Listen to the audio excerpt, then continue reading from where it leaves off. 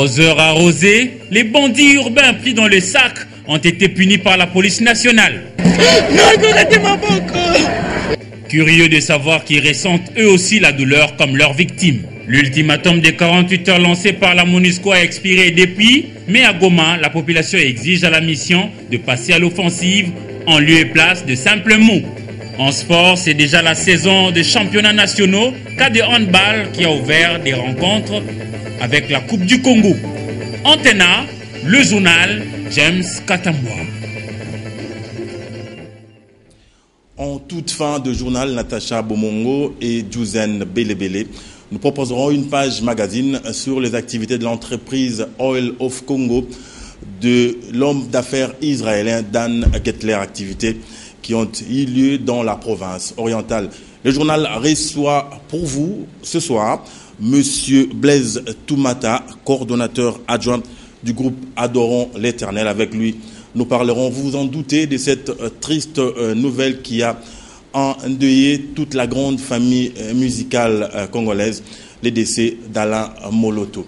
Bonsoir, Monsieur Blaise Toumata. Je reviens à vous tout à l'heure. Bonsoir également à vous et bienvenue à cette grande édition du journal sur la chaîne de référence. L'ultimatum lancé par la MONUSCO aux groupes armés dans les deux provinces du Kivu a expiré depuis le 1er août dernier.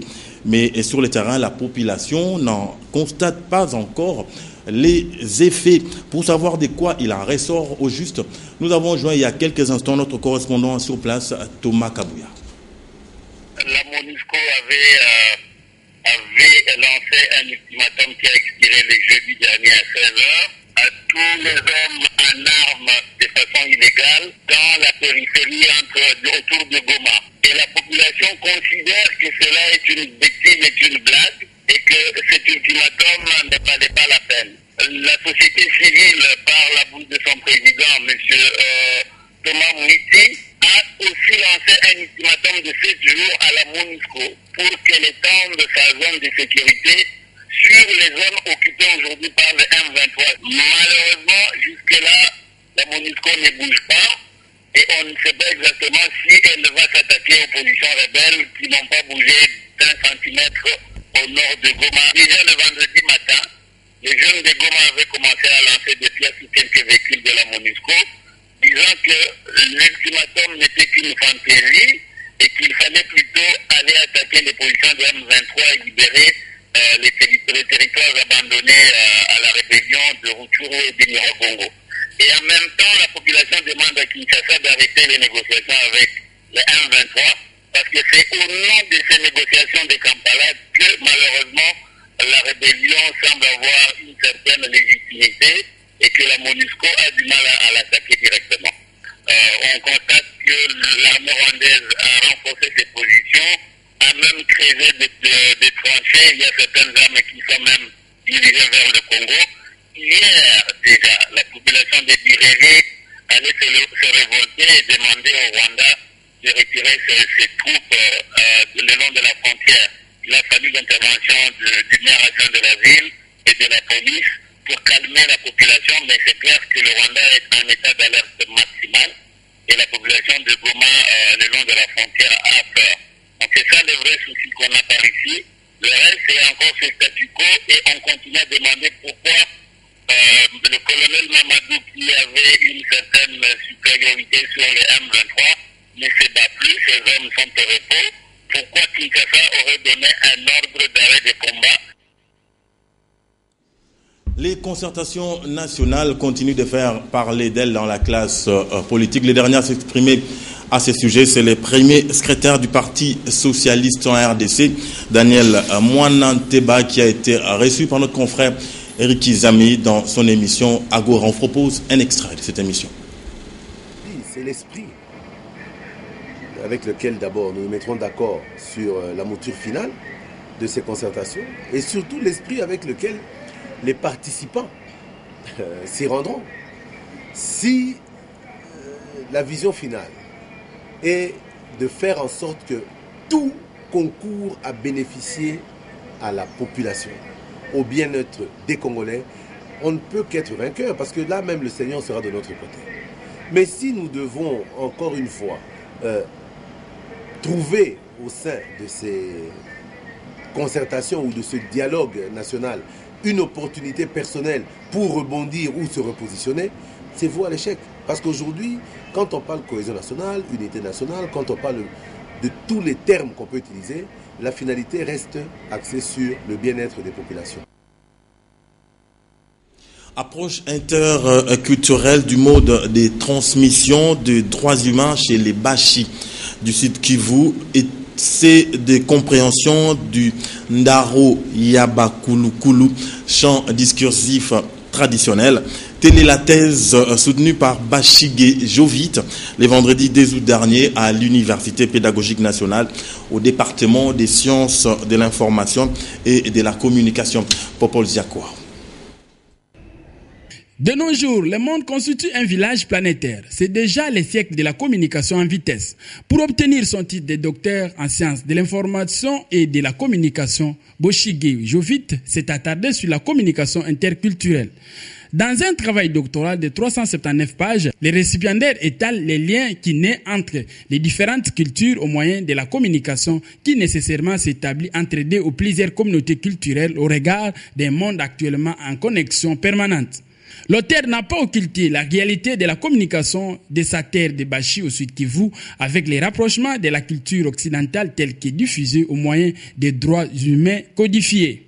Bon, aux chercheurs, je peux, peux souhaiter qu'ils fassent le, la même chose que moi, qu'ils aillent un peu plus loin, deviennent docteurs, qu'ils soient aussi reconnus dans les hauts milieux scientifiques du pays le pays ne peut pas avancer sans les potentiels intellectuels.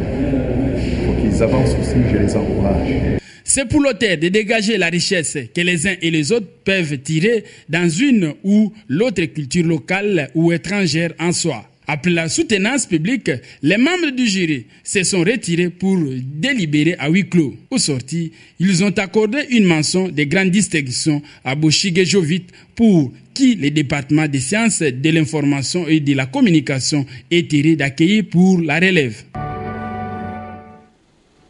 À l'occasion du 30e anniversaire de son ordination sacerdotale, l'abbé Joseph Loukelou a présenté son livre intitulé Ma vocation un don, une euh, découverte et une histoire. Cet ouvrage a été baptisé par Monseigneur Daniel Landou le vendredi 10 août dernier à la paroisse Saint-Joseph de Matungé. Popol Après une étude de longue haleine, l'abbé Joseph Loukelou a rassemblé dans ses volumes des souvenirs et réflexions sur le problème de l'Église, de la vie quotidienne de tout chrétien et de la nation congolaise en se basant sur la prière et les tâches que tout croyant doit remplir pour l'avancement de la nation. Ce livre a été baptisé par Monseigneur Daniel Landou. Nous espérons que ce livre aidera les jeunes, surtout les jeunes, à mieux apprécier leur vocation et à cheminer dans cet itinéraire. Et encore une fois, merci M. Sous la préface de Léon Saint-Moulin, ce livre est l'œuvre produite par les religieux tels que Monseigneur Boulamatadi, Abbé Antoine Toto, Jean-Pierre Makamba. Enfin, la cérémonie a été agrémentée par la chorale Lux Mundi.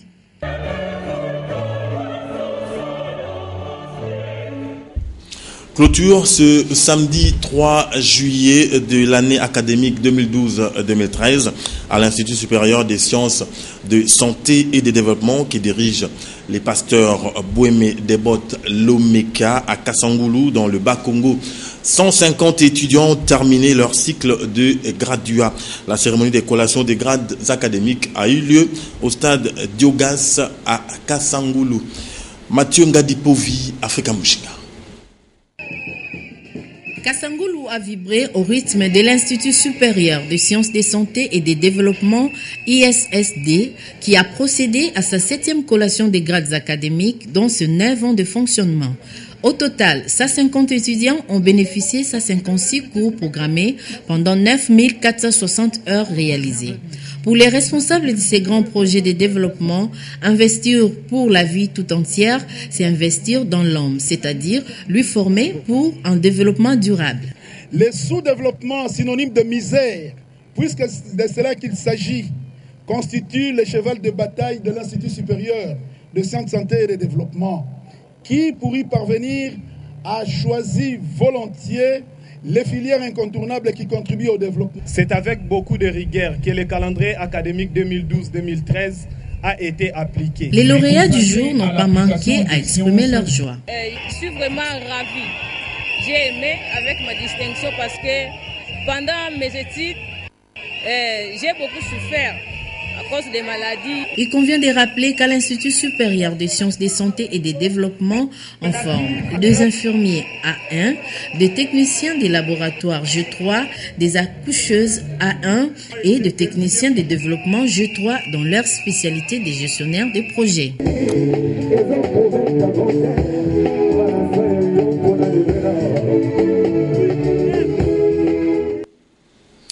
Blaise Toumata, bonsoir. Vous êtes les coordonnateurs adjoints de, euh, du groupe Adorons l'Éternel, groupe cher à, à l'illustre disparu Alain Moloto. Vous l'avez euh, connu euh, depuis très longtemps, 15 ans si je ne m'abuse. Qu'est-ce qu'on peut retenir d'Alain Moloto? En fait, euh, merci beaucoup pour la parole. Ce qu'on peut retenir de lui, vraiment, on a beaucoup de souvenirs. Donc, euh, tout le monde sait, c'est qu'il a, il a accompli dans ce pays, voire même à l'extérieur du pays, c'est qu'il a été pour euh, l'Église corps du Christ. En fait, c'était vraiment un serviteur de Dieu qui a marché dans la droiture, qui a servi le Seigneur comme il fallait et au travers de, de ses œuvres. Donc euh, tout le monde euh, peut savoir ce qu'il a accompli. En fait, c'est vraiment le corps du Christ le corps du Christ euh, connaît vraiment ce qu'il a accompli. Voilà. Vous, vous l'avez connu il y a 15 ans. euh, C'était dans quelles circonstances? Parlez-nous un tout petit peu de, de cette rencontre. En fait, euh, moi je l'ai connu d'abord à la radio Sangomalamo.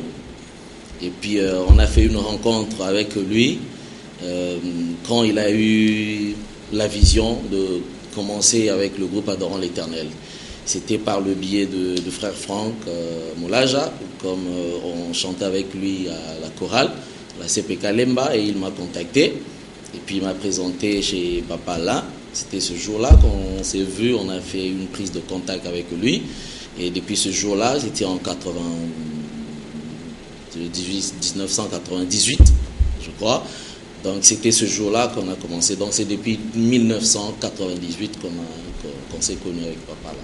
Une question qui est pratiquement dans, toutes les bouches, en- à Kinshasa particulièrement et en, RDC en général. Parlez-nous un peu des circonstances de, sa mort. Euh, ça n'est un secret pour personne. D'ailleurs, euh, sur la chaîne de référence, dans l'édition euh, des 19h hier, on a, passé un élément euh, sur euh, sa famille biologique. Il y a un de ses frères qui a parlé d'un empoisonnement. Vous confirmez cela? Est-ce qu'il y a eu euh, déjà des examens médicaux qui ont été faits à ce sujet?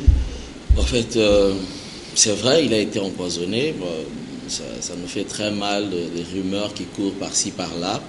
En fait, euh, il a été empoisonné à plusieurs reprises. Donc, c'était plus de sept fois même. Et pour la dernière fois, il a été empoisonné, c'était le 28 avril, lors euh, de la journée qu'on a toujours l'habitude d'organiser Eden, chaque dernier dimanche du mois. C'était le dernier, euh, le dernier empoisonnement. Mais vous donnez la date avec euh, précision. Vous avez quelle, quelle assurance qu'il il était empoisonné ces jours-là? Vous avez vu la personne qui l'a empoisonné? Bon, en fait, euh, on ne peut pas quand même le dire ici, mais en fait, ce jour-là, parce qu'il a chassé des gens juste qui étaient à ses côtés. il, a, il a quand même suspecté les gens. C'était ce jour-là même qu'il a pressenti qu'il y a eu quelqu'un qui l'avait empoisonné. C'est juste après cela, et son médecin avait contacté, on avait euh, constaté qu'il y avait encore une euh, dose de poison qui s'est augmentée ce jour-là. Voilà, C'est c'est terrible. On, on revient à vous tout à l'heure pour euh, les programmes des obsèques et, et la suite. Les banditismes urbains ou phénomène Kuluna qui bat son plein dans la capitale Kinshasa a été une fois de plus à l'œuvre ce dimanche au stade de, euh, de martyrs de la Pentecôte. Deux groupes composés de 10 à 20 personnes se sont livrés à une bataille qui a poussé la police nationale congolaise à intervenir afin de maîtriser la situation. Patrick Borel Moukendi.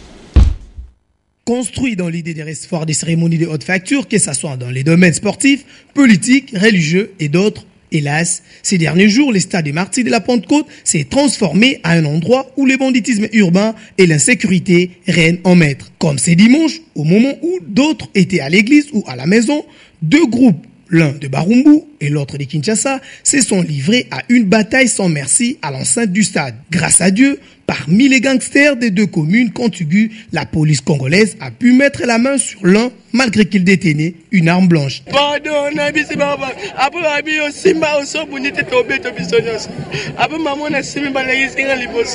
Surpris avec sa machette, torse nu par les éléments de la police, le jeune bandit s'est mis à verser des larmes de crocodile, signe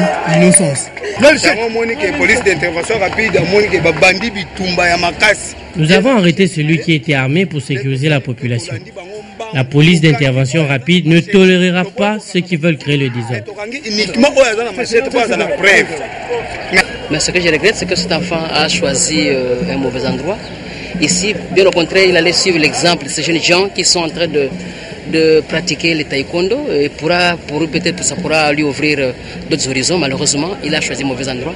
Et c'est bien normal que la police puisse euh, mettre la main sur lui. Comme ça, il pourra s'agir et donner une leçon aux autres.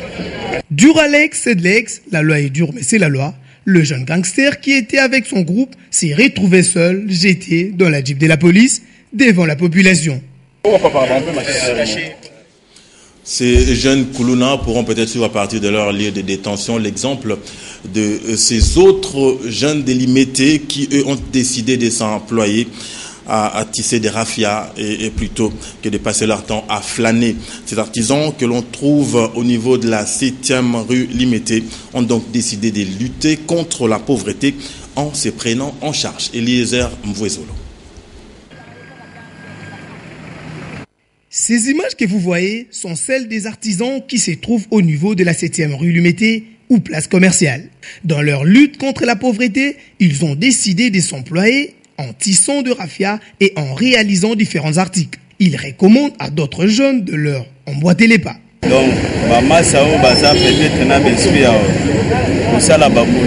Nous sommes à la 7e rue Lumété.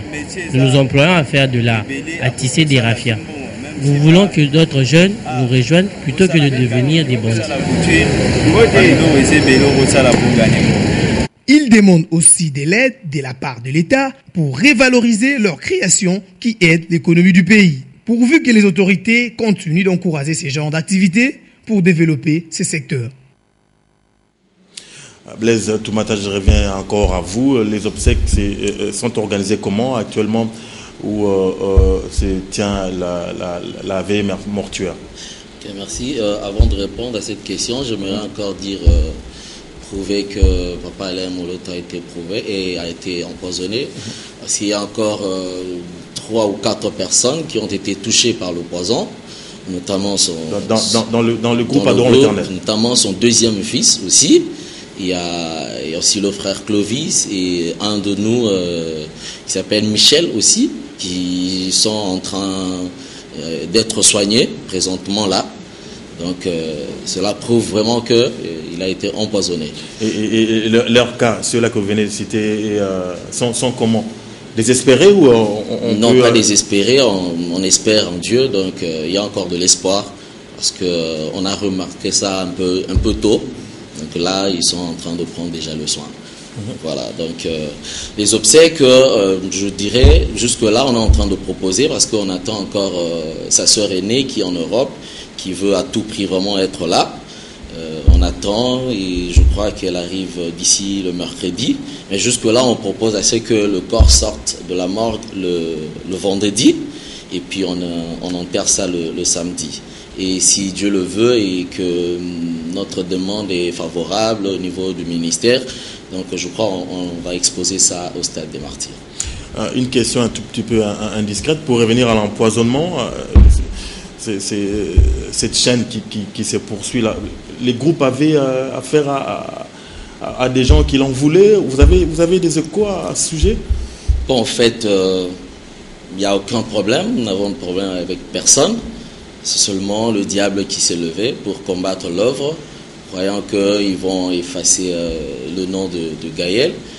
Donc, euh, et puis il y a même de menaces. Il y a des gens qui sont en train de nous menacer que euh, vous allez tous partir. Mais bon, en fait, si c'est dans le plan de Dieu que tout le monde parte, nous partirons. Mais si c'est dans le plan des hommes, je leur assure qu'ils ils, ils échoueront. Donc le groupe n'a problème avec personne. Là, vraiment, je vous rassure. Vous êtes intact, pas de problème pour vous Intact, pas de problème avec, en- Gloire à avec Dieu. personne. Gloire à Dieu. Ah, Je résume tout à l'heure pour euh, la conclusion. Merci. La première semaine du mois d'août est destinée à l'allaitement maternel. La RDC en est à sa 21e semaine et la rédaction d'Antena a pensé vous rappeler l'hygiène de la femme qui allaite. Patricia Bassois pour le reportage. Toutes celles qui ont été mères savent le bonheur que procure l'allaitement au sein. Ainsi, ces moments ne peuvent aucunement être interrompus pour une raison quelconque que celle de l'hygiène. Avant d'allaiter au sein, il faudra s'assurer que les seins sont propres et savoir qu'au cours de l'allaitement, il n'y a pas de règles concernant la fréquence ou la durée des tétés. Ainsi, cela évitera des crevasses et des matistes qui mettent la mère mal à l'aise et rendent l'allaitement désagréable. S'assurer que l'enfant est en bonne position pour qu'il n'étouffe pas. La femme qui allait doit manger équilibré et éviter toute nourriture qui constipe de peur de constiper le bébé.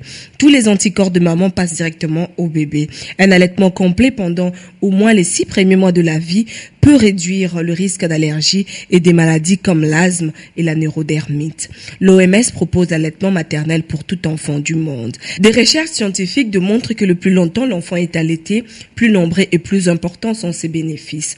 L'âge naturel du sévrage semble être entre 3 et 4 ans, voire même 7 en Inde. En sport, 16 clubs venus de toute la République prennent part à la 30e Coupe du Congo de handball qui a démarré aujourd'hui au stade de Martyr. Sur plutôt ce reportage. La cérémonie officielle de la 30e édition du championnat national d'handball de la RDC a eu lieu ce dimanche 30 août 2013 au complexe sort du stade des Martyrs. Certes, un défilé des équipes venues de cinq provinces qui prennent part à cette Coupe du Congo de la spécialité, à savoir les Katanga, les Bandundu, les Dekasai et la ville de Kinshasa, terre d'accueil. C'est comme ça qu'on a donné l'occasion les athlètes, côtés cette. Je crois que nous attendons une belle performance technique sur tous les athlètes. Et déjà, nous sommes en train de suivre le, match d'ouverture. Nous voyons que c'est un vraiment bon niveau. Donc, c'est- déjà satisfaits déjà du premier match de suivre. Auparavant, le samedi 3 août 2013, au parquet du stade des Martyrs, quelques rencontres ont eu lieu et les résultats se présentent de la manière suivante. Le handball club roué de Kinshasa a atomisé la formation des paniques de Bandundu 50-11. Le handball club Scorpion a battu son homologue de Kinshasa, le handball club Hirondelle 42-27. Le handball club Le Lion de la tribu de Jida de Bandundu a été crucifié par le handball club Mikishi du Katanga sur le score de 0-6-50. Le handball club héritage de Bleu Vêtu a eu raison sur le handball club V-Club dans la version féminine sur la marque de 40-22. Voilà, on vous le disait en début journal, c'est à présent l'heure pour nous de prendre cette page magazine que nous propose Natacha Bomongo et Jouzen Belebele sur cette entreprise Oil of Congo de l'homme d'affaires israélien Dan Gettler. Cette entreprise a convié un groupe de journalistes de Kinshasa à visiter ces compartiments dans la province orientale. Après avoir survolé les airs Boyomé, la fondation Yertler et la délégation de la presse de Kinshasa s'étaient rendus finalement dans la localité de Kasseni à Bunia, où la société de pétrole Oil of Congo effectue de travaux d'exploration pétrolière dans le lac Albert. Considéré comme l'un des lacs le plus poissonnés au monde, le lac Albert dispose aussi d'importants gisements de pétrole et de gaz naturel dans ses profondeurs. Non, en fait, on est ici sur le lac Albert avec la société Oil of Congo qui est en plein campagne de captage de données sismiques. Ça veut dire qu'on euh, on fait l'étude de sismologie sur le lac Albert pour connaître les couches de terre qui sont en bas, pour voir s'il y a des, structures, des structures géologiques qui peuvent euh, avoir des poches de hydrocarbures. Et pour ce faire, nous utilisons euh, deux méthodes. Il y a une méthode sur la terre et une méthode, disons, sur le lac, sur l'eau, une méthode marine. Et le bateau qu'on vient de voir a des, des canons à bord, mais c'est des canons pas avec de la munition, mais avec des canons avec l'air comprimé. On, met, on fait une pression de 180 bars et on lâche l'air. Une fois que l'air sort de ce canon qui est sous l'eau, en bas du bateau, il y a une explosion, une explosion acoustique, une explosion qui fait du bruit. Et on peut considérer que c'est un mini tremblement de terre artificiel. Maintenant, euh, le, bruit euh, euh, va maintenant voyager à travers de l'eau, entrer dans le fond, entrer jusqu'à 2 km de profondeur dans la terre et parcourir plusieurs différentes couches et structures de terre qui vont donner des échos. C'est comme vous êtes dans une vallée, vous appelez très fort, après une seconde, vous avez un écho qui vous entendez votre propre voix. Alors le bruit qu'on fait revient. Et sur le sol, sur le lit du lac, il y a un câble, un câble de 1 km de long, et tous les 2 mètres, il y a un micro. Et le micro va maintenant capturer le son, le son, le bruit qui retourne des différentes plaques, des différentes structures géologiques qui sont sous, la, sous le lac. Maintenant, selon les différentes vitesses de retour des échos qui sont captés par les ordinateurs, nous pouvons interpréter ça et avoir une vue. En fait, on fait une carte, une carte sismique géologique de ce qu'il y a en bas, mais en profondeur jusqu'à 2000, 2000 mètres. Grâce au contrat de partage de production signé en mai 2010 entre le gouvernement central et l'association Capricat BVI et Foxwell BVI, la société Wolof Congo, financée à 100% par Dan Gertler et son groupe Florette, unit un nombre d'actifs naturels importants en Afrique, notamment en RDC. Dans cette partie du Congo, il a l'exclusivité de mener l'exploration dans le bloc 1 et 2 du Graben Albertine de 2010 à 2015, soit 5 ans avec un investissement de l'ordre de 60 millions de dollars américains. On fait beaucoup d'actions sur le terrain, comme vous avez remarqué. Mais souvent, les gens ne savent pas, les gens n'ont pas la connaissance de ce qui se passe sur le terrain. Et euh, des fois, c'est difficile pour qu'ils puissent concevoir ce qui est en train de se faire. L'exploitation du pétrole, c'est quelque chose qui prend beaucoup d'années, comme on vous l'a expliqué par l'ingénieur lui-même qui faisait la présentation. Ça peut aller jusqu'à 25 ans. Mais les gens, même la population locale, s'attendent à ce que les résultats soient palpables en deux ans, trois ans. C'est impossible. Donc, il faudrait qu'il y ait de la patience. On y arrivera mais euh, le travail se fait bel et bien sur les terrains. Depuis quelques semaines déjà, la société Olof Congo a largué sur le lac les embarcations équipées de matériel scientifique haut de gamme pour effectuer des études sismologiques dans le périmètre du Graben Albertine. Oil of Congo, c'est une société de M. Dan Gertler. Il est l'actionnaire majoritaire, il y a d'autres partenaires, mais il est l'actionnaire majoritaire. Et euh, il convient de retenir que sur les cinq blocs que nous trouvons ici, le seul bloc qui est opérationnel sur le plan exploration, c'est Oil of Congo, justement pour ça. Et, là, ça contredit un peu tout ce que nous entendons par rapport à l'inertie de M. Dan Gertler, par rapport à ses investissements qui sont parfois remis en doute. Aujourd'hui, nous sommes à Kassemi pour voir encore les projets d'investissement de M. Dan Gertler sur l'exploration pétrolière. Et comme je venais de vous le dire, c'est le seul bloc opérationnel pour le moment. Il y en a cinq, il y a d'autres qui ont été attribués à Total et à d'autres. Mais pour le moment, le seul bloc où il y a des activités, nous sommes dans la phase sismique. Nous venions de voir tout à l'heure sur le lac Albert euh, la société Tesla qui est en train de, procéder à, à des levées de données sismiques vont permettre au laboratoire de pouvoir déterminer des données et capter les indices qu'on va envoyer au laboratoire pour déterminer l'après, l'après l'exploration. Néanmoins, il faut dire que les experts et scientifiques de Wall of Congo ont affirmé qu'en mars 2012, le Canadien Tesla a fini la première campagne sismique arrêtée à 400 km offshore avec deux méthodes de canons à air. Ensuite, la deuxième campagne sismique s'est élargie jusqu'à 145 km de ligne sismique 2D de février au mois d'avril 2013. La troisième phase, elle, est en cours et prendra fin en août 2013. En fait, on a fait deux campagnes. La première campagne, c'était l'année passée, sur le lac aussi. On a fait 400 km. Et au bout du mois de mars de cette année, de 2013, On a fait la campagne sismique maintenant sur le terrain, ça veut dire sur terre, dans la vallée de la Semliki, où on n'a pas, ces canons qui envoient l'oxygène dans, dans, dans, le lac, mais on utilise des camions avec des vibreurs, des vibreurs avec des poids qui envoient un signal de mini tremblement de terre de nouveau en profondeur et avec des câbles de micro aussi. Là, on prend, on prend pas le son qui revient, mais la vitesse du signal. Euh, cette campagne s'est terminée et on a maintenant encore 350 km à faire sur le lac Albert. Maintenant, une fois qu'on a toutes ces données, on doit les interpréter et traduire dans des images 2D euh, et 3D. Et jusqu'à la fin 2013, on sera occupé avec ça. Si maintenant les actionnaires sont réconfortés, qu'il n'y a euh, presque pas de doute, mais pas à 100%, on a une grande chance, une forte chance pour trouver du pétrole. Jusque-là, neuf structures ont été déjà identifiées et cartographiées après la première acquisition, mais elles ont de grandeurs différentes avec comme un dénominateur commun la forte probabilité de contenir du pétrole. Il faut aussi relever que l'exploration pétrolière est un investissement à long terme. Il peut durer entre 5 et 6 années. Dans ce cas, Oil of Congo compte forer les quatre premiers puits en 2014 et 2016.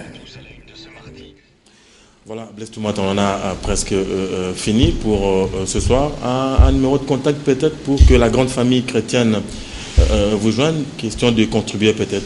En fait, il y, a un compte spécial qui a été ouvert pour tous ceux qui aimeraient bien contribuer. En fait, j'ai plus le numéro de, compte en tête, mais je donne quand même le numéro de, contact. Uh-huh. C'est le 081 417 48 00. Je reprends 081 417 48 00. Voilà. Merci. Merci, beaucoup. Je rappelle que nous recevions Blaise Toumata, coordonnateur adjoint du groupe Adorons l'Éternel. Fin de cette session d'information. Grand merci à vous pour votre sympathique attention. Bonne soirée sur la chaîne de référence.